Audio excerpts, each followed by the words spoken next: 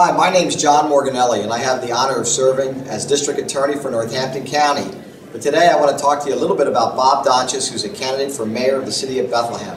Bob and I have been friends for 47 years, and Bob is well prepared to lead our city as the next mayor.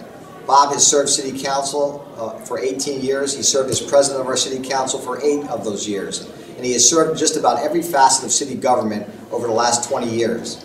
Bob is a family man, he's married, he's raised his family, and he's lived in Bethlehem his entire life. And Bob is uniquely qualified and prepared to lead our city during these difficult times. I'm just privileged to, to know him. I'm honored that I have also with me in this campaign as co-chairperson is our state senator Lisa Boscola, and together we're hoping that we can uh, have Bob Donchez become Bethlehem's next mayor. So all of you out there, look up Bob Donchez, go to his website, uh, bobdonchez.com, and learn about him. He'll make a great mayor. Thank you.